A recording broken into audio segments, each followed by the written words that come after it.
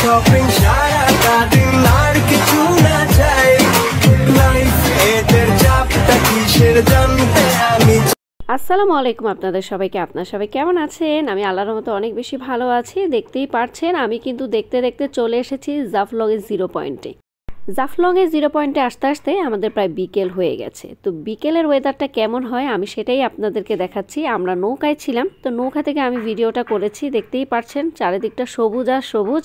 আর এখন আমরা চলে এসেছি একদম মেন জায়গায়, যেখানে কিনা আপনারা দেখতে পারবেন ইন্ডিয়ান অনেক ট্যুরিস্ট এখন আমি আপনাদেরকে একটি ঝুলন্ত ব্রিজ দেখাবো যা কিনা ইন্ডিয়ার আর দেখতেই পারছেন, এই ঝুলন্ত ব্রিজ দিয়ে অনেক যানবাহন আসা যাওয়া করছিল।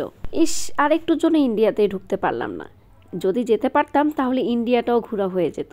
আপনারা দেখতেই পারছেন, চারিদিকটা পাথর আর পাথর। এই পাথরগুলো পেরিয়ে কিন্তু তারপর আমাদের যেতে হবে গাড়িতে। এই জায়গার পানিগুলো এত বেশি স্বচ্ছ, পানির নিচে যা কিছু আছে সব কিছুই কিন্তু দেখা যাচ্ছিল। আরেকটি কষ্টের ব্যাপার হলো, আপনারা দেখতেই পাচ্ছেন এখানে অনেক ময়লা পড়ে আছে। তো আমি আপনাদের সবার কাছে রিকোয়েস্ট করব, অবশ্যই এই জায়গাগুলোতে ময়লা না ফেলার চেষ্টা করবেন, কারণ এগুলো কিন্তু আমাদের প্রাকৃতিক সম্পদ। ঘুরে বেড়ানোর পাশাপাশি অবশ্যই আমাদের এই জিনিসটা মাথায় রাখা উচিত, যাতে আমাদের কারণে আমাদের প্রাকৃতিক সম্পদগুলো হারিয়ে না যায় বা নষ্ট হয়ে না যায়। দূর আকাশে সূর্য দেখা যাচ্ছে। আর সূর্য কিন্তু একটু পরেই ডুবে যাবে। বিকেল থেকে সন্ধ্যা গড়িয়ে এসেছে। দেখা যাচ্ছে কি, মানুষের পরিমাণটা এখানে খুব কমে যাচ্ছে আস্তে আস্তে। আমি এখন আপনাদেরকে জাফলং এর সন্ধ্যার ভিউটা দেখাচ্ছি। খুবই ভালো লাগছে। দেখতে পাচ্ছেন এখানে অনেক দোকানপাট আছে শপিং করার জন্য। তো আমরা এখন শপিং করব সবাই মিলে। কারণ সিলেটের বিখ্যাত মণিপুরি শাড়ি যদি কিনে না যায়, তাহলে তো একদম পুরা ট্যুরটাই বৃথা। সিলেটের জাফলংয়ে এসে এত সুন্দর সুন্দর শাড়ি দেখলাম। আর শাড়িগুলোর প্রাইস প্রায় অনেকটাই কম ঢাকার তুলনায়।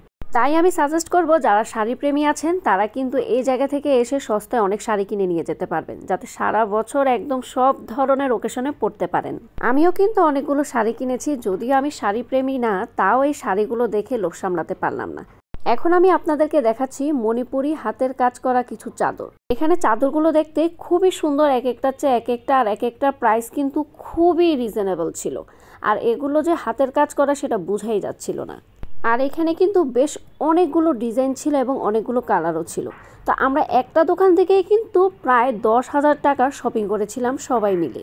আর এই দোকানে আমাদের ফ্যামিলির মানুষ ছাড়া আর কেউই ছিল না। তাই আমার মনে হচ্ছিল আমরা যেভাবে জামা কাপড় কিনছি, মনে হচ্ছিল যে এটা যেন আমাদের নিজেদেরই দোকান। আমরা নিজেরাই সব কিছু খুলে খুলে তারপর দেখছিলাম। এই চাদরগুলোর কাপড়টা বেশ ভালো ছিল, বেশ নরম ছিল। তা আপনারা যদি সিলেটে যান, অবশ্যই কিন্তু এই চাদরগুলো কিনে নিয়ে আসবেন। আমরাও কিন্তু এই চাদরগুলো কিনে নিয়ে এসেছি। এখন আমি আপনাদেরকে কিছু তাঁতের ড্রেস দেখাচ্ছি। এগুলো হচ্ছে তাঁতের থ্রি পিস থ্রি পিসগুলোর একদম সুন্দর কালার ছিল। আর একটি কথা হচ্ছে, এই থ্রি পিসগুলো কিন্তু একদম পিওর সুতি ছিল। আপনারা যারা সুতি প্রেমী আছেন, তারা কিন্তু এই ড্রেসগুলো কিনে নিয়ে যেতে পারবেন। তাহলে কিন্তু আপনারা খুব আরামে পরতে পারবেন। আপনারা দেখতেই পাচ্ছেন, আমরা কিন্তু অনেকগুলো তাঁতের ড্রেসও কিনেছিলাম। দুঃখের বিষয় হচ্ছে শপিং করার সময় কিন্তু টাকার কথা একদম খেয়ালই থাকে না। যখন শপিং করা শেষ হয়ে যায় এবং টাকাটা পেমেন্ট করা লাগে তখন কিন্তু খুব বেশি কষ্ট লাগে। এইটা হচ্ছে আমাদের রুম উমায়েরা ওরা এসে আগে থেকেই বসে আছে। আমি আপনাদের সবাইকে আমার সিলেট ব্লগে শুরুতেই বলেছিলাম আমার রুমটা আমি আপনাদেরকে দেখাবো। তো এখন কিন্তু আমি আমার রুমটা আপনাদেরকে দেখাচ্ছি। আমরা কিন্তু টুইন বেড নিয়েছি যেহেতু আমাদের টুইন বেবি আছে সেজন্য আমরা এখানে টুইন বেড নিয়েছি। যাতে করে আরাম করে ঘুমানো যায় সেজন্য। তো আমি আপনাদেরকে ইন্টারভিউটা দেখাচ্ছি। এই রুমের ইন্টেরিয়রটা কিন্তু খুব বেশি আহামরি কিছু ছিল না অ্যাজ ইউজুয়াল যেমন থাকে তেমনটাই ছিল। তো এখানে কিন্তু একটি এসিও ছিল রুমের ভিতরে, যেহেতু আমরা শীতকালে এসেছি, আমাদের এসির কোনো দরকার হয়নি। কিন্তু আমাদের গিজারটা অনেক বেশি দরকারি ছিল, আর এই রুমে কিন্তু আমরা গিজারও পেয়েছিলাম। তো এখানে একটি পর্দা দেখতে পাচ্ছেন। পর্দাটা সরালে কিন্তু বাইরের কিছুই দেখা যায় না, সব কিন্তু জালি দিয়ে বন্ধ করা। তো পর্দাটা কিন্তু আমরা আর খুলিনি, পর্দাটা এভাবেই রেখে দিয়েছিলাম। তো এখানে একটি টেবিল আছে এবং দুটি চেয়ার আছে। এখানে বসে সুন্দর আপনারা হাজব্যান্ড ওয়াইফ মিলে কফি খাবেন আর গল্প করবেন। এখানে কিন্তু এসে ওমায়রার এসে খুব বেশি খুশি আমাদের রুমটা দেখে। আমাদের রুমটা কিন্তু মোটামুটি বেশ বড়ই ছিল। জাফলং থেকে এসে খুব বেশি টায়ার্ড ছিলাম, খুব বেশি টায়ার্ড যা বলার মতো না। তাও রুম ট্যুরটা করে দিয়েছি। যেহেতু আমি আপনাদেরকে বলেছি যে আমি রুম ট্যুরটা করব, সেজন্যই এখানে কিন্তু জামা কাপড় এবং আপনার এক্সেসরিজ জিনিসগুলো রাখার জন্য কিন্তু একটি আলমারিরও রয়েছে। আমার এই রুমের ওয়াশরুম কিন্তু আমি অলরেডি আপনাদেরকে আমার আরেকটি ব্লগে দেখিয়ে ফেলেছি। তো এখন আমি আর ওয়াশরুমটা দেখাতে পারছি না, কারণ আপনাদের ভাইয়া ওয়াশরুমের ভিতরে আছে সেজন্য। তো এই রুমে কিন্তু একটি বিনও আছে, আপনাদের ময়লাগুলো কিন্তু আপনারা এই বিনে ফেলতে পারবেন।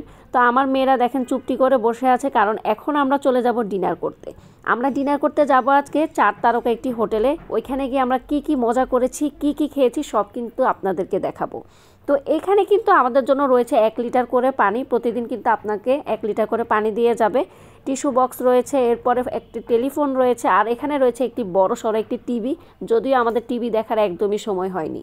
আর ওরা প্রতিটি বেডে একটি করে কমফোর্টার রেখেছে এবং একটি বেডে তিনটা করে বালিশ রেখেছে। এই জিনিসটা আমার খুবই বেশি ভালো লেগেছে, কারণ আমি কোল বালিশ ছাড়া ঘুমাতে পারি না। তো এই বালিশটা আমার খুব বেশি দরকার ছিল। তো খুবই বেশি ভালো লেগেছে, কারণ একটি কোল বালিশও পেয়ে গেছি। আমার মেয়ে আমাকে বলছিল, আমি সব কিছুই তো দেখিয়েছো, আমাদের টিভিটা তো দেখাও নেই। আসলে তো টিভিটা দেখাই নেই, তো আমাদের এই বড়সড় টিভিটাও দেখিয়ে ফেললাম আপনাদের।